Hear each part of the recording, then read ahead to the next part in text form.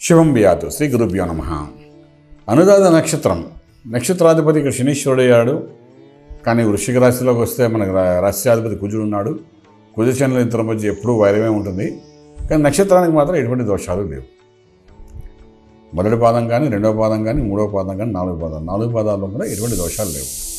So ఇక్కడ అనురాధ నక్షత్రం అనేది చాలా మంచి నక్షత్రం చెప్తాం స్ట్రెస్ని తీసుకోగలుగుతారు స్ట్రెయిన్ తీసుకోగలుగుతుంది. అనుభవం తీసుకోగలుగుతుంది పేషెన్స్ ఉంటుంది. ఇంకా మనిషిలో అన్ని రకాలైన ఎక్స్పీరియన్స్ మైండ్లో ఉంటుంది ప్లానింగ్ బాగుంటుంది. ఆలోచన చేసి ఏదైనా చేస్తారు? అటువంటి క్యారెక్టరిస్టిక్ ఉంటుంది.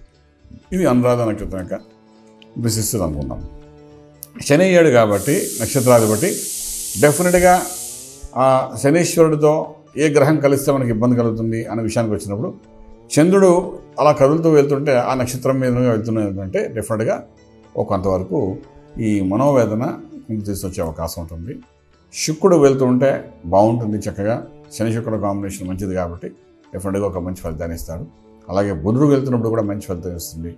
అలాగే రాహు వెళ్తున్నప్పుడు కూడా మంచి ఫలితం ఇస్తుంది. అంటే ఆ యొక్క నక్షత్రం మీద ఉన్న ఉన్నంత కాలం ఆ గ్రహం మనకు కొంత పాజిటివ్ ఎక్స్పీరియన్స్ అనేది ఇవ్వచ్చు మాట కానీ అలాగే కుజుడు కానీ ఆ నక్షత్రం మీద వెళ్తున్నాడు అనుకోండి నక్షత్రం మీద ఎందుకు వెళ్తాడంటే నలభై ఐదు రోజులకు ఒకసారి కుజుడు ఒక రాశి ఒక రాశి మారిపోతుంటారు. అనురాధ నక్షత్రం మీదకి వచ్చినప్పుడు మాత్రం కొంచెం డిస్టర్బెన్సెస్ ఎక్కువగానే కనబడతాయి. కుజుడు వచ్చిన అలాగే కేతు వచ్చినప్పుడు కూడా కొంతవరకు డిస్టర్బెన్స్ ఎక్కువగానే కనబడతాం అన్నమాట. అయితే ఈ నక్షత్రానికి ఈ నాలుగు పాదాలకు ఎటువంటి దోషాలు అయితే లేదు కానీ ఈ నక్షత్రం మనం దేవగణం కింద మనం చూపిస్తాము. లేడీ అక్కడ జంతువు దగ్గరికి వచ్చినప్పుడు లేడీ చెప్తాము మధ్యనాడి అని చెప్తాం అన్నమాట. సో ఈ లేడీ మధ్యనాడి ఈ నాడి గురించి ఎందుకు మాట్లాడుకుంటున్నాం నాడి రెండు సమనాడీలు అవ్వకూడదు అనమాట అంటే భార్యాభర్తలు అంటే ఒకవేళ మనం పంతను చూసినప్పుడు ఈ నాడి దగ్గర అబ్జర్వేషన్ చేస్తారు ఏకనాడి అవ్వకూడదు అంటారు ఏకనాడి అంటే సంతాన దోషం వస్తుంది అని చెప్తారు. ఇది పూర్వాశ్రమంలో చెప్పేవారు తర్వాత ఉత్తర ఆంధ్రాలో కొంతవరకు ఆలోచించేవారు. కానీ ఈ మధ్యకాలం దక్షిణ భాగమైన హైదరాబాద్లో ఇది నాడిని పట్టించుకోవడం మానేశారు. కానీ ఇంకా ఈస్ట్ వెస్ట్ గోదావరిలో ఇంకా నాడి గురించి మాట్లాడుకుంటున్నారు. ఏకనాడి అయితే ఇప్పటికీ వివాహం చేయట్లేదు. సంతానం కలగదేమో అని. ఏకనాడి ఉంటే సంతానం ఉత్పత్తి కలగడం కొంచెం కష్టం అని చెప్పి చెప్తారు. కానీ సైన్స్ కూడా కొంతవరకు డెవలప్ అయింది. నాడితో సంబంధం లేకుండా అవి చూడకుండా వివాహం చేసుకునే వాళ్ళు కూడా చాలామంది ఉన్నారు. ఏకనాడి కాకపోయినా ఏ నాడు అయినప్పటికీ సంతానం కలగకపోతే ఎలా సంతానం కలుగుతుంది అనే దానికి టెక్నికల్గా సైంటిఫిక్గా మెడికల్లో ఎంతో డెవలప్మెంట్స్ కనబడుతున్నాయి కాబట్టి మనం దాని గురించి పెద్దగా ఆలోచించకలేదు బట్ స్టిల్ ఏకనాడి వస్తుందికే కొంచెం ఆలోచించవలసి వస్తుంది అంటారు కాబట్టి ఇది ఆ నాడి అనేది ఆ పాయింట్ అది. దాని గురించి డిస్కస్ చేసే విషయం అన్నమాట అది. ఓకే ఫైన్ తర్వాత ఇక్కడ మనకు ఇంకొక చూసి పాయింట్ చూసుకోవాల్సింది ఏంటంటే ఏ అక్షరంతో మనం మొదలు పెట్టాలి అనే విషయాన్ని మనం మాట్లాడుకోవాలి.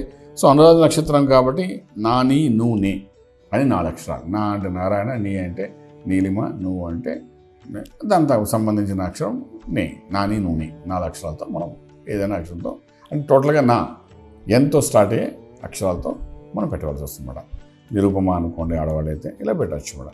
అయితే ఇక్కడ మనం మాట్లాడుకోవాల్సింది ఏంటంటే ఈ నాలుగు పాదాల్లో ఏ పాదానికి దోషం లేదు. నాని నూనె అని నాలుగు అక్షరాలతో మనం పేర్లు పెట్టుకోవచ్చు. దేవగణమైంది లేడీ జంతువు అయింది నక్షత్రం ప్రకారం కూడా బాగున్నాయి. ఏదైనప్పుడు వృశ్చిక రాశిలో అనురాధ నక్షత్రం అనేది ఒక అద్భుతమైన నక్షత్రం అంటారు. దోషం లేని నక్షత్రంగా చెప్పుకుంటాం కాబట్టి ఆ విధంగా వెళ్ళచ్చు. ఇక్కడ శనీశ్వరుడు దీనికి ఆధిపత్యం వహించాడు కాబట్టి మన నిత్యం ఈ యొక్క శనికి సంబంధించిన కొన్ని క్రియలు ఏంటంటే అభిషేకం అనేది ప్రాశస్త్యం వహిస్తుంది కాబట్టి ఈశ్వరుడికి అభిషేకం చేయడము తీసుకోవడం ఇలాంటివి చేయడం వల్ల కొంత మనోవేదన బయటపడే అవకాశం ఉంటుంది. మంత్రాన్ని దగ్గరకు వచ్చినప్పుడు మాత్రం ఆంజనేయ స్వామి యొక్క ఆరాధన కానీ నమ్మకం కానీ చమకం కానీ మనం నేర్చుకోగలిగితే చాలా బాగుంటుంది. ఆ విధంగా చేసుకుంటే వెళ్తే మంచి ఫలితాలు వచ్చే అవకాశం ఉంది. అయితే ఇక్కడ అన్నిటికంటే చాలా ఇంపార్టెంట్ పాయింట్ ఏంటంటే మనసుకు సంబంధించి రెండున్నర రోజులకి ఒకసారి చంద్రుడు మారిపోతూ ఉంటాడు. ఈ నక్షత్రం దగ్గరకు వచ్చినప్పుడు ఏంటవుతుందంటే ఆ స్పెసిఫిక్గా ఆ చంద్రుడు ఆ వృషిక రాశిలో వెళ్తున్నప్పుడు అది నీచ అంటే వృషిక రాశిలో చంద్రుడు అనేది నీచ స్థానం అంటారు. అలాగే శనీశ్వరుడి నక్షత్రమైన అనురాధం మీద వెళ్తే ఇంకొంచెం బలహీనంగా ఉంటాడు. సో ఏదైనా చిన్న చిన్న సెన్సిటివ్ ఇష్యూస్లో ఎక్కువగా ఆలోచించి మనోవేదన పొందుతారు కాబట్టి దాని నుండి బయటపడడానికి మాత్రం మనసును ఏకాగ్రత చేయడానికి మెడిటేషన్ చేయడం చాలా అవసరం పడుతుంది.